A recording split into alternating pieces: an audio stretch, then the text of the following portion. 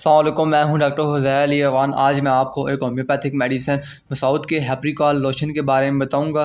इसके actions benefits active ingredients dose effects and side effects के बारे में बताऊँगा। अगर आप मेरी वीडियो पर नए आए तो मेरी वीडियो को लाइक करें, चैनल को सब्सक्राइब करें और साथ ही बेल आइकन को प्रेस करें, ताकि ऐसी अच्छी अच्छी वीडियोस आपको मिलती रहें। चलें, आज की वीडियो को स्टार्ट करते हैं। बिसमीम पहले बात करते हैं मसाउद के हैप्रिकॉल लोशन के एक्शंस एंड बेनिफिट्स के बारे में।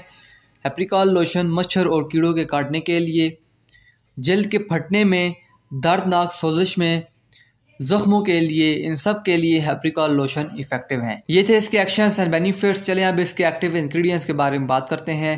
Active ingredients number one medicine hypericum number two medicine ledum पाल ये थे इसके एक्टिव इंग्रेडिएंट्स चले अब इसकी डोज के बारे में बात करते हैं।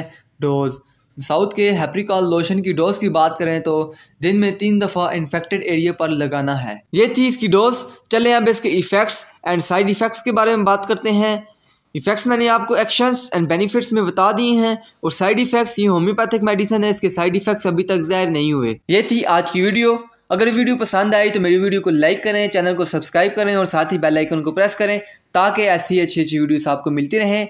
चलें, मिलते हैं नेक्स्ट वीडियो में। अस्सलाम वालेकुम अल्लाह हाफिज़।